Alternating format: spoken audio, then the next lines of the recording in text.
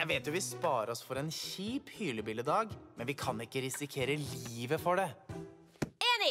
Ut og finne trippelregnbuemaskinen! Åh, greit. Hvis du ikke vil høre på hva jeg sier, vil du da høre på hva jeg synger? Vi tar en farlig sjanse, bare for en tåpelig regnbue. Pappi, ikke dra. Bli trygt hos meg. Åh, det var nydelig! Men jeg vet at dette kommer til å gå fint så lenge du blir med meg. Bli med, så møter vi været fælt eller fint. For himmelen, den er alltid klar og blå. Og sola lyser opp i det grå bak hver en sky om en så mørk fins alltid lys. For meg, for ting har aldri vært så ille. Jeg har fått mer enn nok av positivitet.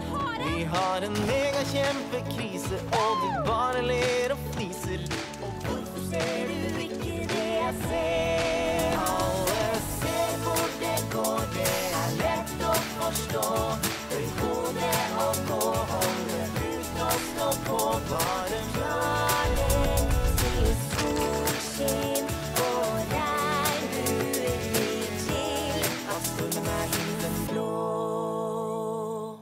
Vi fant regnbuemaskinen! Mangler selvtillit. Mr. Dinkel, for å vinne må du tro at du kan vinne. Dette er universet, og universets sentrum er du.